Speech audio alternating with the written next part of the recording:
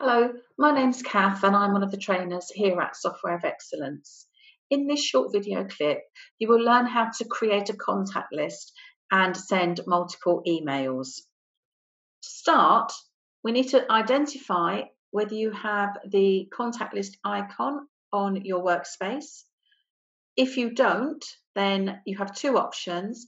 You can click on Administration, Contact Lists, or with a right mouse click and click on the word customize, you can identify your contact list from the left hand panel and using the arrows to the right, move it across to the right hand side. So just to demonstrate that, I will remove mine from my list.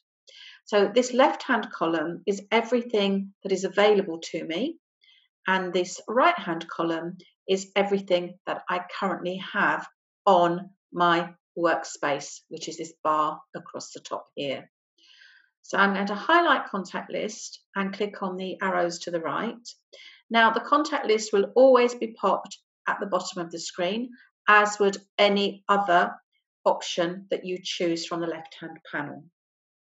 Now to move this further up the screen, highlight and click on the arrows upwards until you find the place where you wish your contact list to appear. And by clicking on the OK button, this now puts contact lists onto my screen. So now we have the contact list in your workspace. You can click on the contact list and at the bottom right hand of the screen, create a list.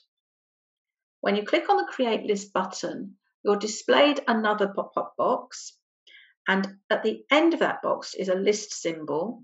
And when you click on it, you will then see a list of all of your previously preset templates.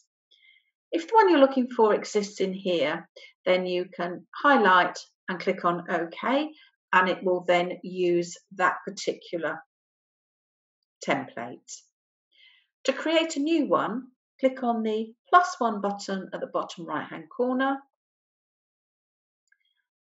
add a description. Once you've given it a description, you then need to add a query template. Now, a template or a query is something that interrogates the computer system and it will go off and search for information related to that particular condition. So we're going to create a list of our current patients.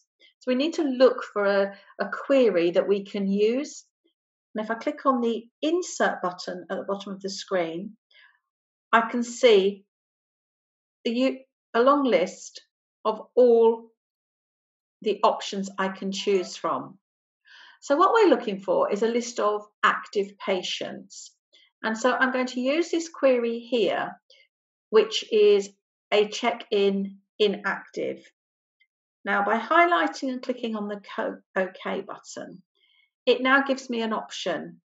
Now, I'm not looking for patients with a check-in inactive because that means they're not current patients. But what I can do is choose the option patient without a check in the inactive box, and that will give me all of my current patients. Once I've added the query in, and I click on the OK button, that has now given me a new list to choose from. To run this list, click on the OK button. And it's always worth putting a description in. So I'm going to put in here all current patients as at the 5th of the 5th, 20. Use list for appointment booking. I will come back to this in a late at a later stage. Um, so leave that unticked for now and just click on the OK button. And now it's actually generating a list for me, which says I have 31 patients. So in order to see those patients on that list, I need to answer yes to the question, do you want to create this list? So now I can see everybody in my list.